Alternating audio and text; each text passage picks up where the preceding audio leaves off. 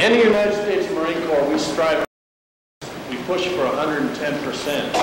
And this evening, we'd like to recognize a young man here who has gone, who has faced insurmountable odds. He's given 110%. So this evening, on behalf of the United States Marine Corps, I'd like to present Mr. Joshua Twelves with a certificate and uh, congratulate him, welcome him as States Marine.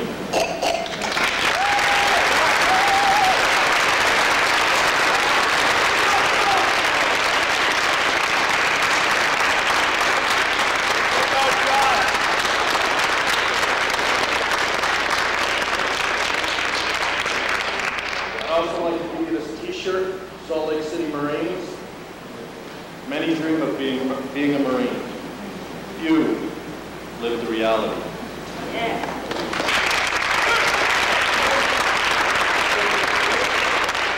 That's a sticker you can put on the back of your wheelchair.